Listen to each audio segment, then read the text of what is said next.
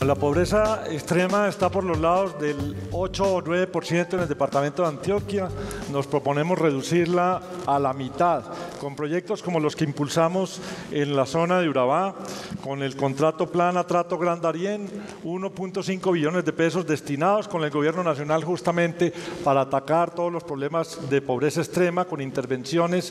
fundamentalmente en el tema de escuelas, centros de salud, vivienda digna, accesibilidad y entornos protectores, pero también entornos productores para la población campesina de esas eh, regiones del departamento de Antioquia. Cuando priorizamos la inversión del departamento, lo hicimos en la zona de Urabá precisamente porque era la que presentaba los indicadores más precarios y además particularmente en un municipio que es uno de los más pobres del país, como el de Vigía del Fuerte, donde hicimos una inversión de 36 mil millones de pesos y lo vamos a replicar en todos los demás municipios de la zona de Urabá y otras regiones del departamento.